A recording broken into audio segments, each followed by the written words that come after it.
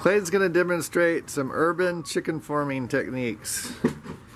So you go to the oyster shack and you pick up some shells out of their landscaping on the way out. They got plenty of shells. Oh, just bust the one that's already flat on the, the ground there.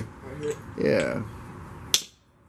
No, you got to hit it. You might even have to turn it over. It might be easier.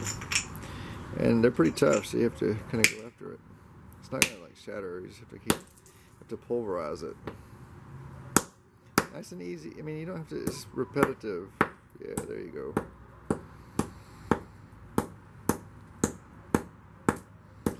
Yeah, so just busting up some, and then you can go grab some more, whatever, you know.